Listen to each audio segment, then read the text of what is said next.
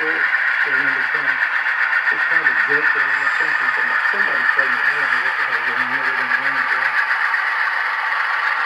I can cross over a thing and remember it's better than a thing that's done something. You know, awful. Yeah. That's the way that I think now. Yeah. So I would, I would expect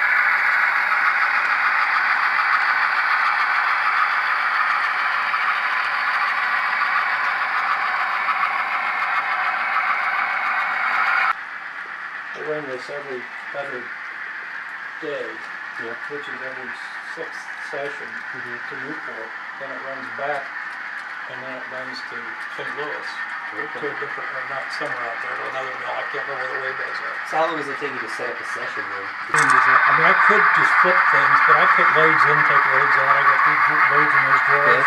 These slabs are all, the slab train's ready to go. That's another thing we could run. If you guys get into one of them trains, we could run that over the hill and pick up the empties and bring them back or. Sure, yeah.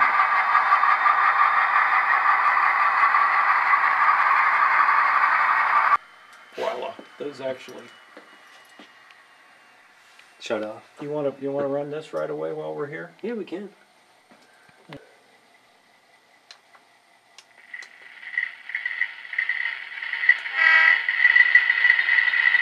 This is the uh, Licking River Terminal transfer run to St. Joe Yard. It's a fairly new move, and we take slab cars over. to be set off there and we bring our empty slab cars back.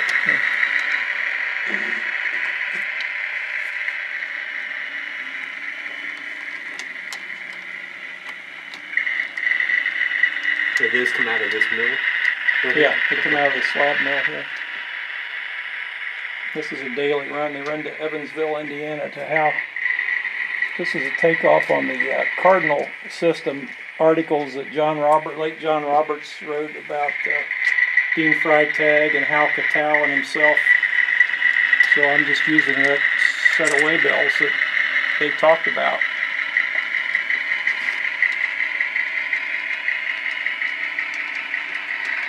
This has only run a couple of times. It, it seems to be pretty successful.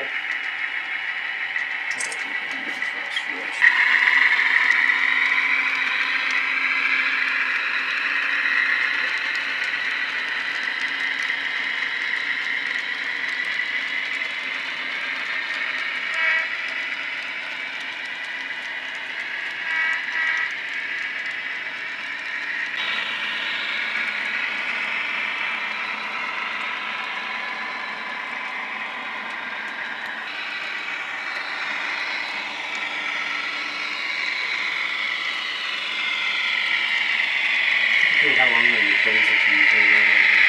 These are twelve Okay. max. Oh, because they want to be pushing hot metal, but I'll push slabs. I know I was talking to some railroaders, and it's very not, not not at all uncommon to, to have a shed move ten miles long. Really? And he was just, I said, "Oh, you don't run around." I said, "You gotta run around to get all the way around the top across." We're not, we're gonna show. my